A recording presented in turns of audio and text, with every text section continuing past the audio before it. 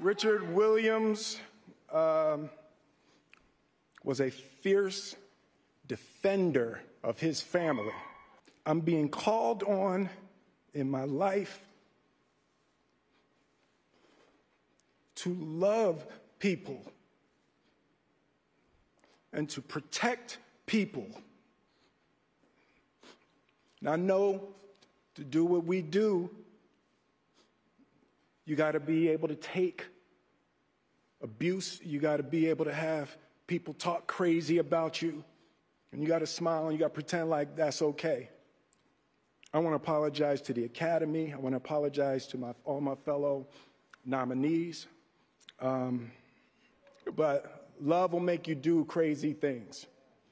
Thank you. Uh, I hope the Academy invites me back. Thank you.